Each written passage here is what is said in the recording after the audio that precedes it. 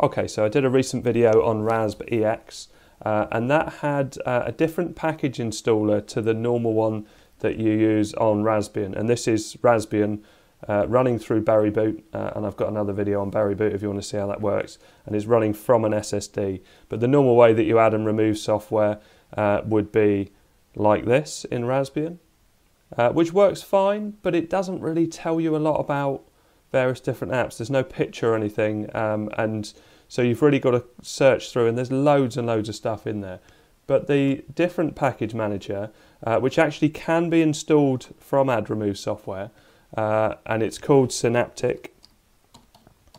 So if you type in Synaptic, use a package manager to install a package manager. There you go. You can see that it comes up. Uh, that's the Synaptic one. So you would tick that click apply and that would install. I've obviously already done it and it's down on my dock. Pop in the password, which I haven't changed, so it's still Raspberry. And this is how it comes up. So if I do the same sort of thing and search for games, there you go, so games and amusement.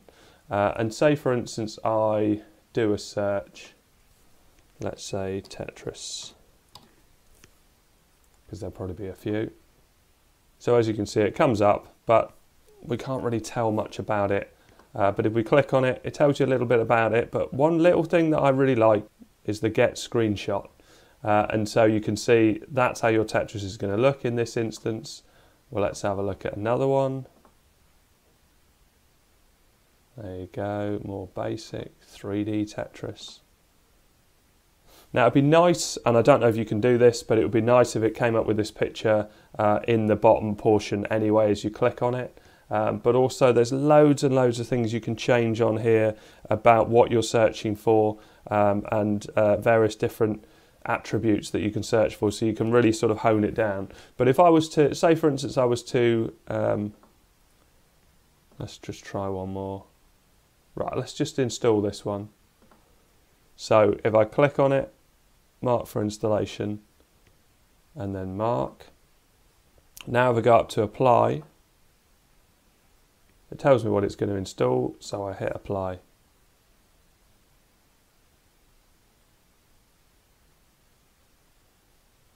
And I've found that everything I've applied uh, and installed with this, everything has worked.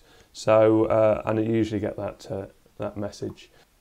Let's close that down and let's find this new one that's up here. So uh, it's not there. Oh is it blocks was it blocks of the undead? Yeah it must have been. Uh, so as you can see that launches. And if I want to store it on my dock I can keep it in my dock. Press any key to start the game. Oh mouse controlled wonder what. I don't even know what I'm doing. Oh. What am I supposed to do? That? Oh, that's a weird uh, concept. So you're moving the blocks together. Okay. So anyway, this wasn't the purpose of this game. If I was going to uninstall that, I can now go up. I can, I don't know if you can do this without having to put in your password. So if I do the same thing again and uh, just type in Tetris and search, you see that it comes up. Now I don't know if you have to, uh, so I put mark for removal. I don't know if you have to tick on both. Uh, but mark for remove, I'll, I'll tick on both. I haven't really played around with this enough yet. Uh, hit apply and apply and then it goes ahead and uninstalls it. Now the other thing I was trying, uh, which you've probably seen in the video already, is, is the dock at the bottom. Uh, I really like uh, either Mac OS or Chrome OS, the way that when you launch a program, it comes up uh, or it's it's on the bottom of the screen in the dock and you can see here which ones are launched so if I if I do two you can see there's two little tiny dots right at the bottom of the screen hopefully it will show up in my screen capture Uh, so this dock is called Plank. Uh, and I've got a couple of docks in it because I've been playing around with docks. Uh, but I just prefer the look uh, of having a dock down the bottom, especially for the things I use most. Uh, so that's Plank. It's a little bit configurable, but it's the, what I like about it is it's, is it's very small and light. It's uh, it's really minimal. There is another one uh, which is, and I don't know what happens if I try and do these two at the same time. Cairo dock.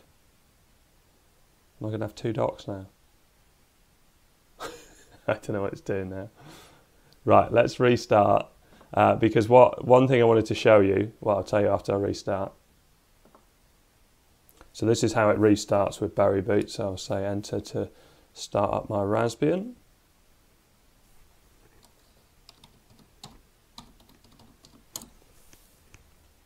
There you go. So it comes up. So if I move my mouse out of the way, you can see I've got no icons at all on the screen. Uh, and I, I just think it's quite a nice look. But there's no dock. So if I go up to the top, and uh, so if I wanted under accessories, if I wanted plank, then I could click on that. Uh, but I want to use uh, or show that Cairo dock this time. So this is Cairo dock, which has uh, quite a nice dynamic feel to it. it. Probably uses a bit more system resources, but there is, if I if I right click on this, uh, there is a Cairo dock menu, and you can say launch Cairo dock on startup. Well, I tried that numerous times and I followed a few different tutorials. I couldn't find a way of doing it. So hopefully someone who's watching this will know a way of adding it and getting it that it starts up.